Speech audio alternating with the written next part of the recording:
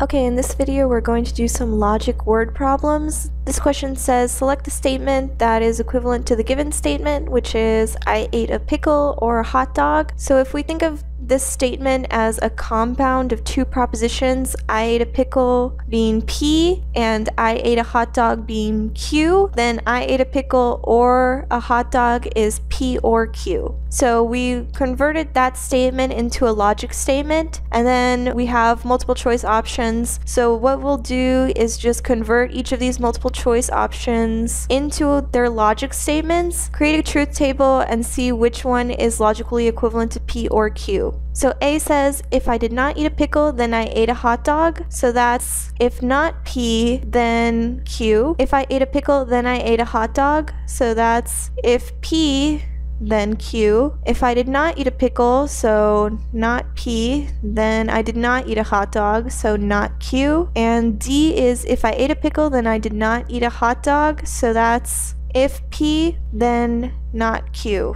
Okay, so now we're ready to fill out our truth table. So we have P, Q, not P, not Q. Then we have P or Q, which is our given statement. We have not P implies Q, P implies Q, not P implies not Q, and P implies not Q. So since we have two propositions and each one can either be true or false, there will be four possibilities for P and Q. So we can do true, true, false, false. Then this will be true, false, true, false to get a combination for all of them. Then not P will just be false, false, true, true. And not Q will be false, true, false, true. Then P or Q will be true, true, true, false. Then with these implication statements, if you have them in the form if P then Q, if P is true and Q is true, then this whole statement is true. If P is true but Q is false, then this statement is false because truth P is not implying Q in that case. If your first proposition is false, then the implication could be anything. So it could be false implies true, and that would be true, or it could be false implying false, and that whole statement would still be true. So let's just do some examples to show you what I mean. So we have not P implies Q. So we're going to look at this column and the one next to it.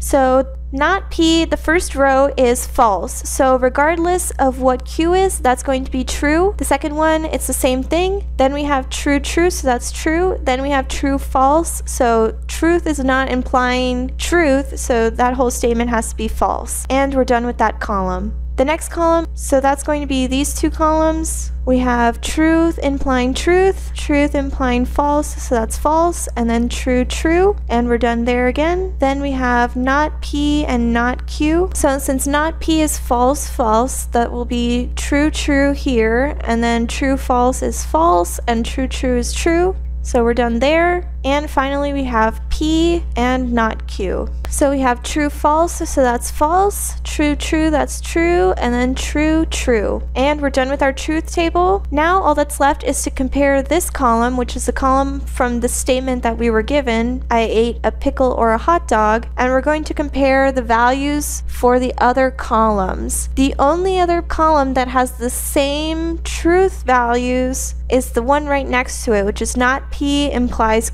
Because for all instances of P and Q, these have the same values. Thus, we can say P or Q is logically equivalent to not P implies Q. So the statement not P implies Q was A. If I did not eat a pickle, then I ate a hot dog. And we've solved that problem. Okay, so I was going to do another problem, but as I'm looking at it now, I see it uses another technique besides truth tables, so I think I'll just leave that for another video and leave this as the only problem in this video.